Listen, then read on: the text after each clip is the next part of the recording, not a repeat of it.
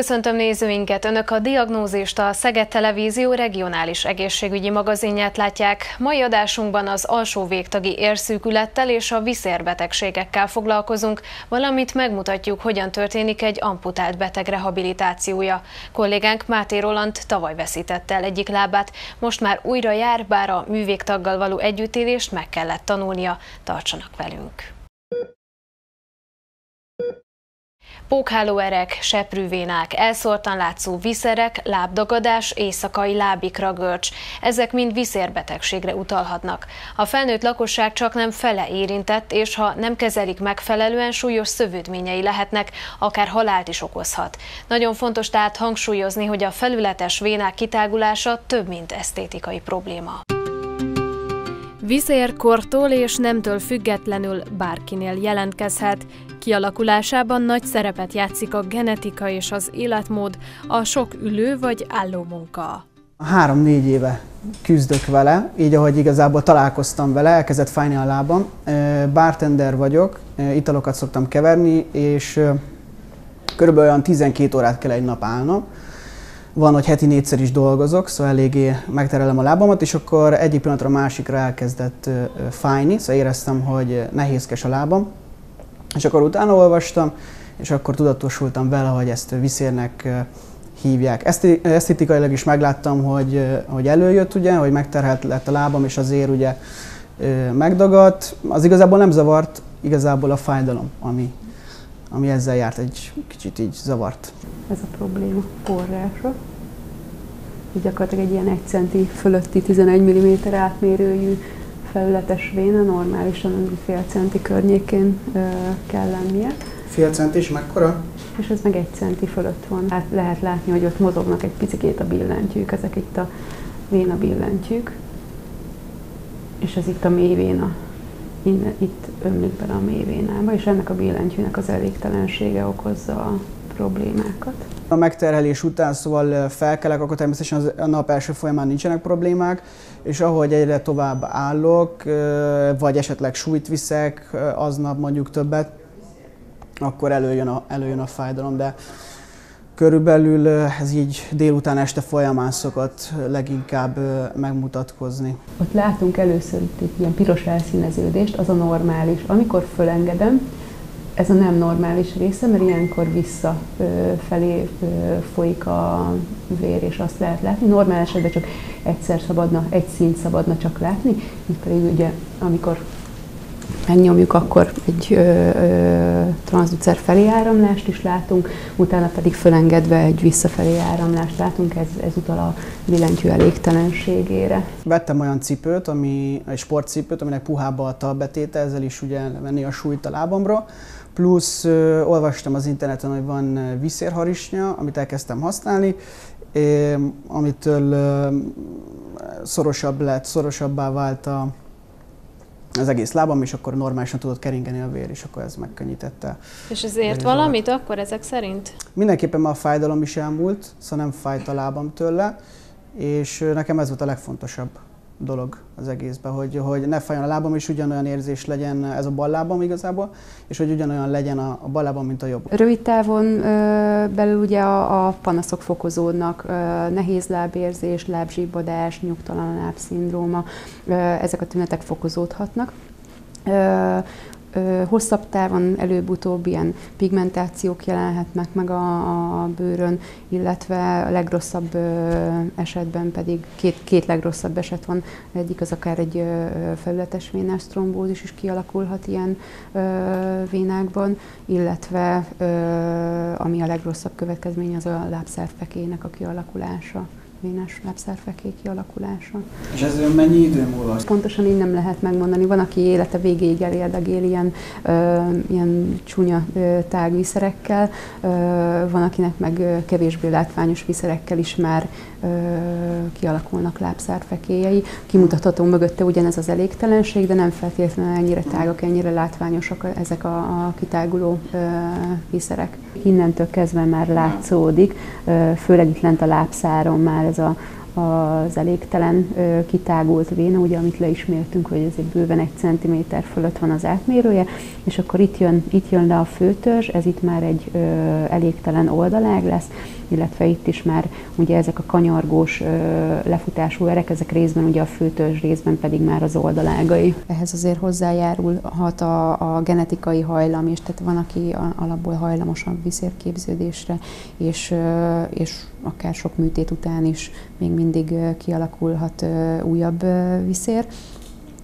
Illetve nagyon fontos a műtétnél a, megfelelő feltérképezés a műtét előtt, hogy lehetőleg az összes későbbi recidíva forrást már az első műtétnél ki tudjuk iktatni. Kompressziós kezelés, kompressziós harisnya, fásli viselése, sok folyadékfogyasztás, mindenféleképpen el kell kezdeni mozogni, sok séta, ugye, hogy az izonpumpa ki tudja egészíteni a vénának a funkcióját, illetve különböző gyógyszeres kezelésre is van lehetőség, ugye, amiket említettem, ezek a flavonoid tartalmú készítmények vének falát erősítik, és az által a panaszokat tudják jelentősen csökkenteni. A panaszok végleg csak a hagyományos meccéses vagy a lézeres műtéti eljárással szűnhetnek meg, néhány esetben azonban előfordul, hogy valakinél ennek ellenére is kiújulhat a viszér. Több mint 400 ezer embert érint hazánkban az érszűkület. Ez is igen magas szám, de ennél riasztóbb adat, hogy európai összehasonlításban nálunk végzik érszűkület miatt a legtöbb alsó végtagi amputációt, körülbelül kétszer annyit, mint máshol. Az okokról és a változás lehetőségéről is beszélgetek Palásti Zsoltal, a Sebészeti Klinika érsebészeti osztályának vezetőjével. Jó estét kívánok! Jó estét kívánok! Az alsó végtagokat érintő verőérszűkület, azaz az érszűkület sokáig észrevétlen marad. Mi az az oka ennek? Ennek leginkább az az oka, hogy nem annyira jellegzetes panaszokkal is kezdődhet a betegség. Esetenként sok mindennel tudja magyarázni a beteg, hogy, hogy mi az, ami miatt ő neki megfájdul a lába. Ugye kor előre haladtával gyakoriak a mozgásszervi degeneratív megbetegedések, izületi kopások, különböző anyagcsere megbetegedések, ami miatt itt-ott megfájdul az embernek az alsó végtagja, és sokáig nem szembesül vele a beteg, hogy ő bizony érintett lehet az érszűkület betegségben. Úgyhogy leginkább ez az, ami miatt sokan hát túl későn fordulnak orvoshoz. Melyek a kockázati tényezők, és van-e rizikócsoport, kit érint a leginkább ez a betegség? Igen, kockázati tényezők jól ismertek az érszükület vonatkozásában. Ez gyakorlatilag ugye az alsó végtegi érszükület ugyanaz a betegség, ami a, a szívkoszorú ereket megtámadja, vagy az agyi ereket megtámadja, és az előbbi esetben szívinfarktust, az utóbbi esetben sztrókot okoz. Kockázati tényezők is ugyanazok. Önmagában az életkor kockázati tényezőt jelent ahogy előre haladunk időben, a, az ereink falának, ütőereink falának a megbetegedése gyakoribbá válik. Ez általában a negyedik, ötödik évtizedben dohányos betegeken már kiszokott jönni, elő szokott idézni különböző keringési zavarokat. Ezzel már el is árultam egy másik kockázati tényezőt, a, amit a betegeink gyakran szeretnek vitatni, hogy hát a dohányzásnak van-e jelentősége, bizony nagyon-nagyon jelentős kóroki tényező a dohányzás. Ezen kívül a magas vérnyomás, ami szintén népbetegségnek tartható, és sokan nem kezelik megfelelően, inkább tagadják a betegséget, semmint, hogy sem, szembenéznének vele, és ezzel nagy hibát követnek el, mert a, az ütőereinkben uralkodó magas vérnyomás bizony az erek falának a, a merevedéséhez, messzesedéséhez, plakképződéséhez vezet, tehát előre viszi a, az érszükület folyamát, folyamatát.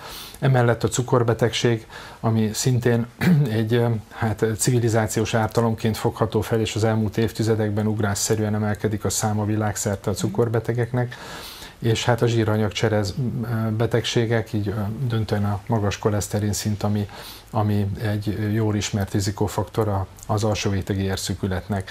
És hát emellett sajnos egyéb életmódbeli sajátosságok is, amik a mai modern életvitelünkre jellemzőek, a mozgásszegény életmód és a, a oly gyakorivá váló magas testsúly vagy testtömegindex a, a magyarul túltápláltság, ami szintén fokozza a betegség kialakulását. Hát ezek így mind magukban is elég súlyos betegségek, szoktunk is ezekről beszélgetni, de az, hogy ezek akár lábamputációhoz is vezethetnek, az talán még súlyossá teszi ezeket a kórokat. Ugye, ahogy említettem, hazánkban végzik a legtöbb lábamputációt. Mikor és miért kell elvégezni ezt a nem kicsi műtétet? Igen, bizony a, ezek az amputációs műtétek, ezek többnyire nagy műtétek, hiszen amiről itt most beszélünk, ezek a magasabb szintű lábszár vagy szombszintű amputációknak az adatai, ami körülbelül két és félszerese például a szomszédos Ausztria a hasonló adatainak. Ezeket a műtéteket akkor végzik a sebészek, nem csak érsebészek, hanem általános sebészek is, amikor egy olyan súlyos állapot áll elő, hogy nincs mód arra, hogy a, a végtagot megmentsük. Ez gyakran fordul elő például a cukorbetegeknél, tehát a cukorbetegek eh, nagyon nagy számban érintettek sajnos ezekben a végtagvesztéssel járó eh, eh, korlefolyásokban, mert a cukorbetegség amellett, hogy az erekfalát megbetegíti és rontja a vérkeringést, sajnos még idegbántalmat, úgynevezett neuropátiát is okoz, kikapcsolva ezzel a szervezet vészjelző mechanizmusait, a fájdalom ingert, tehát a cukorbeteg gyakran még nem is érzékeli azt, hogy az ő lábán kialakult volna egy seb, ami mondjuk egy egészséges nem cukorbetegnél fájdalommal jár, felhívja a figyelmet a problémára, a cukorbeteg nem észleli ezt, és ezen kívül a cukorbetegségnek az is sajátossága, hogy a különböző fertőzéseknek a, a jelentkezését, illetve azoknak a lefolyását rendkívül eh, hát agresszívvá teheti, és ez a három tényező az, ami miatt akár néhány nap alatt kialakulhatnak olyan súlyos gyulladással járó állapotok, amikor, amikor bizony már sajnos nem a beteg végtagjának a mentése válik elsődlegesen a beteg életének a megmentése. Tehát mondhatom azt is, hogy lábat vagy életet. Igen, bizonyos esetekben sajnos ez így van. Ugye azt említettük, hogy ez egy nagy műtétnek számít. Mennyire súlyos egy ilyen beavatkozás? Hát ez, ez egy meglehetősen durva inzultus az emberi test számára egy végtagnak a, az amputációja.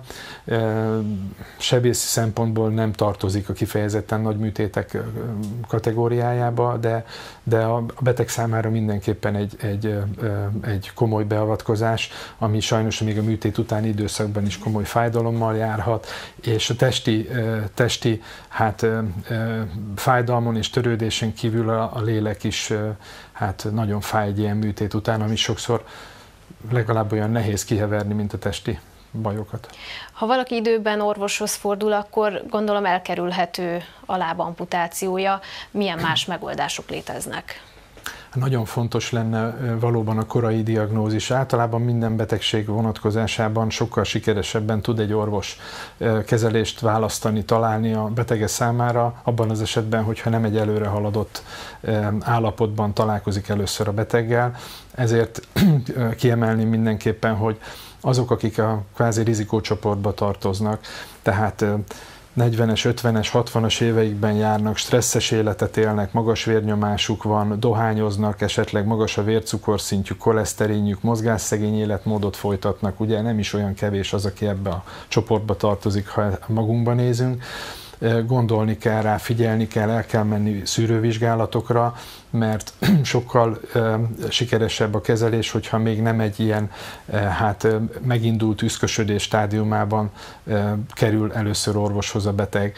Hogyha még csak a úgynevezett járóképesség korlátozott, tehát a, az izomzat nem kap elég oxigént ahhoz, hogy a, az alsó végtagi járás közben végzett izommunkát megfelelően ellássa, akkor először a beteg azt észleli, hogy lerövidül a járás távolság, egy bizonyos távolság megtétele után ilyen izomfájdalmai vannak, izomlásszerű tüneteket érez, ha megáll egy picit, akkor ez pár másodperc alatt csökken, és utána újra meg tud tenni néhány métert. Ez az úgynevezett kirakatnéző betegség. Ha ebben a stádiumban kerül a, a, az szakember látóterében a beteg, akkor sokkal jobban kezelhető a probléma.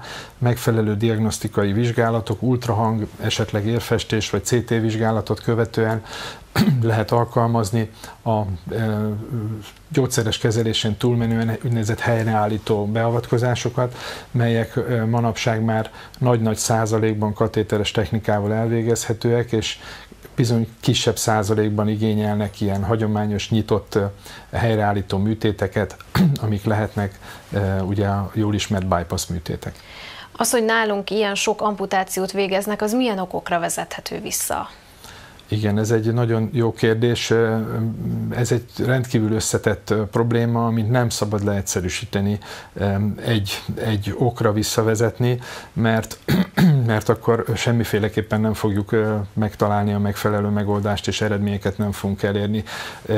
Az ellátórendszer hibái és a bizony sajnos a betegek hibái is mindenképpen kiemelendőek. Nagyon fontos, ahogy az előbb ezt megbeszéltük, a megfelelő korai korai észlelése a betegségnek, hogy a beteg időben forduljon orvoshoz, a beteg gyógyulni akarjon, hajlandó legyen tenni a saját gyógyulásáért, ne passzív elszenvedője legyen úgymond a saját gyógykezelésének, hanem tegyen saját magáért, szedje a gyógyszereket, járjon ellenőrzésre, illetve a szükséges életmódbeli változtatásokat, dohányzás elhagyása és az aktívabb életvitel mindenképpen együttműködést mutasson.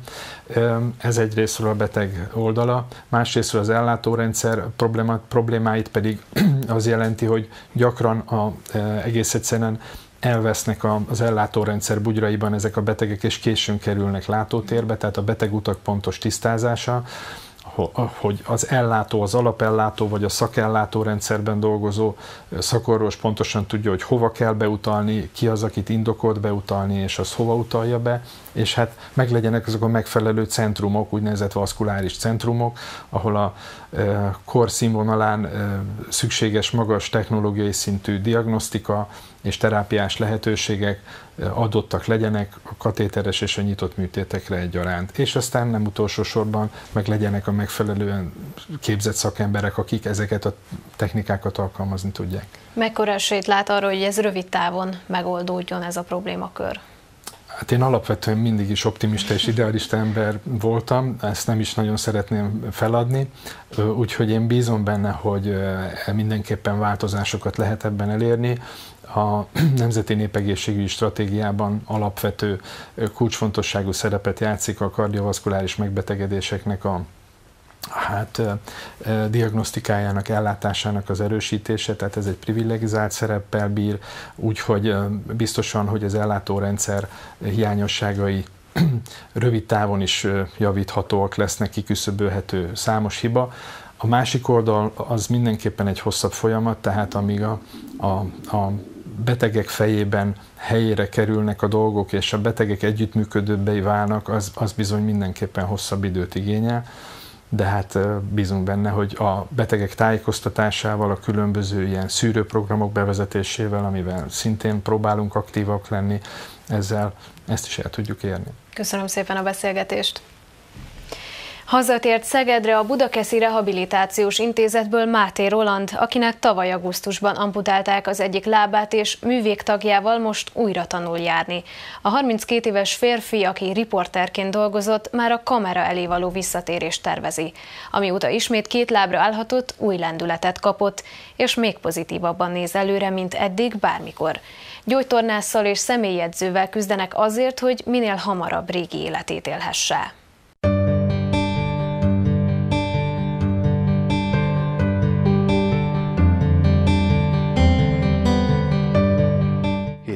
Azt érzem, hogy egyre biztosabban ö, állok, és egyre biztosabb vagyok magamban, és ugye hát ilyen műveleteket, mint paradicsomszelés két lábon állva, hihetetlen, de meg tudom csinálni. Az elmúlt hetekhez képest én azt gondolom, hogy ez egy jelentős változás, hogy, hogy tudok, tudok menni, mondjuk még ilyen hátralépéseket nem, de az alapjáraton már a rehabilitációnak köszönhetően azért meg tudok állni két lábon. Három hónapot töltött Máté Roland az M1 riportere Budakeszin a Rehabilitációs Intézetben, ahol megkapta az ideiglenes műlábat, amivel megtanult újra járni. Családja és barátai már nagyon várták, hogy hazatérjen.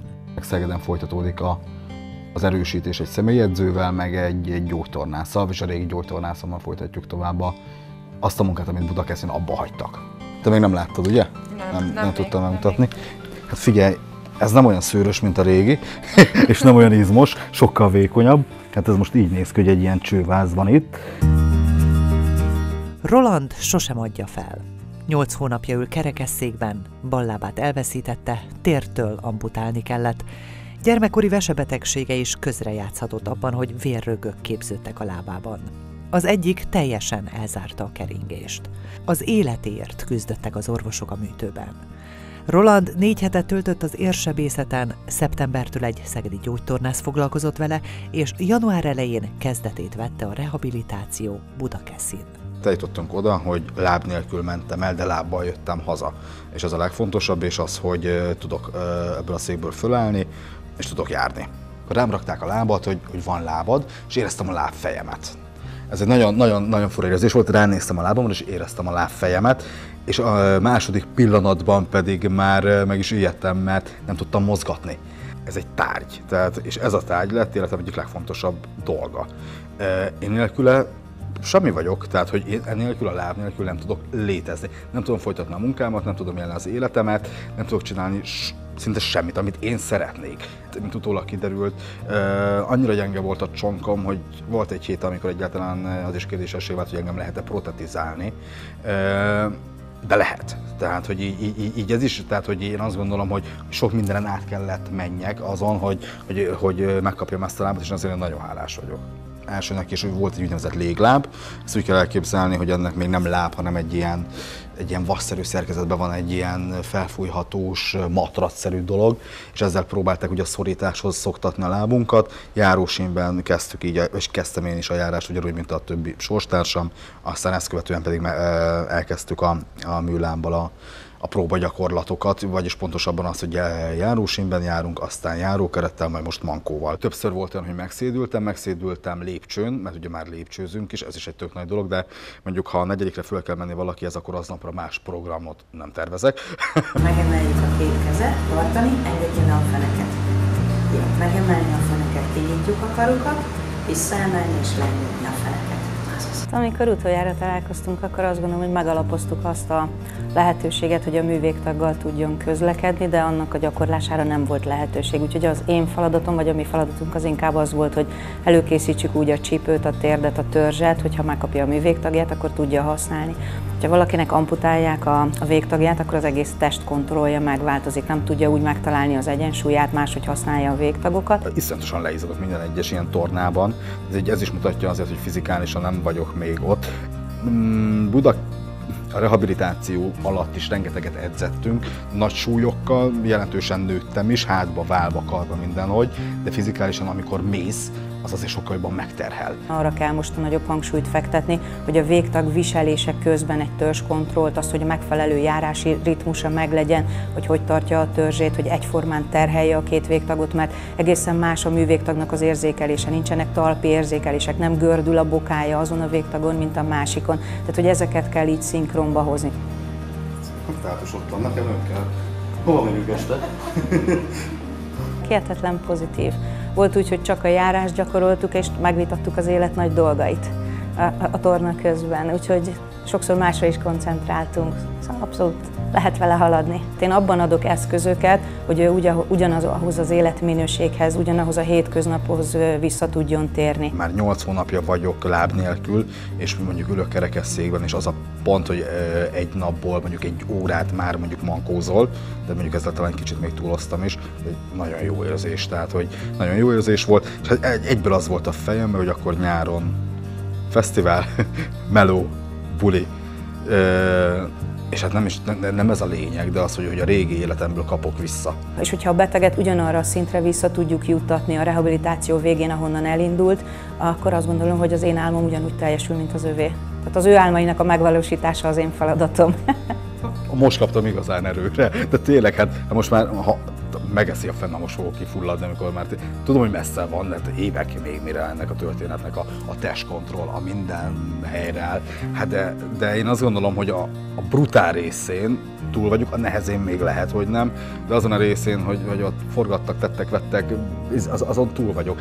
És, és én tényleg vérszemet kaptam most, hogy megyek. A pozitív hozzáállásom az, az azt gondolom, hogy még most erősebb, mint volt.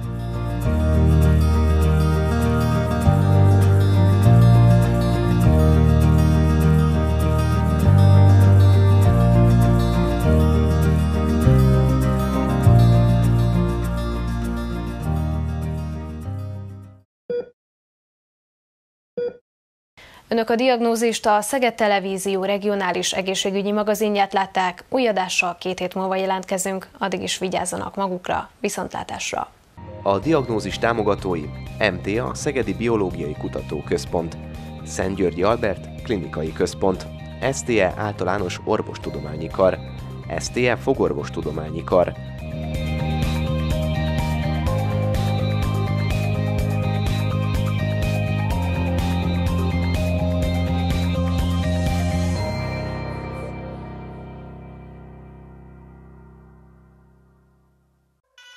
műsorvezetőt a Livello di Vita öltöztette.